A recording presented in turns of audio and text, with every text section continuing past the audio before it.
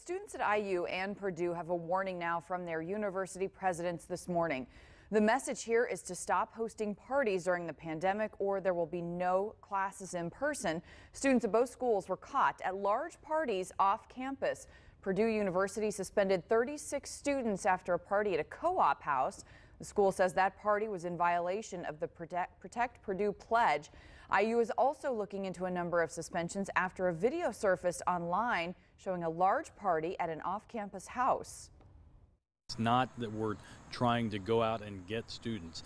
The fact is that we're trying to protect everyone and we can't continue to have this sort of thing happening which endangers everyone.